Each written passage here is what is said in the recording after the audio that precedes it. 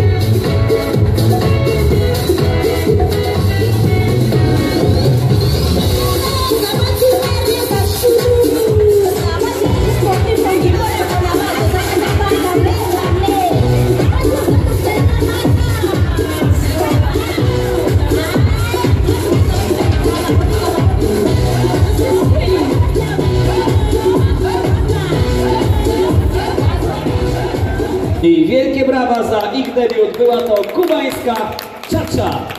Jeszcze nie uciekajmy, nie uciekajmy ze sceny. Jeszcze jeden taniec.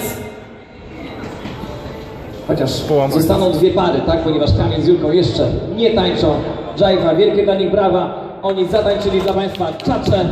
A teraz Filip z Basią i Bartek z Julką zatańczą amerykańskiego Jaifa.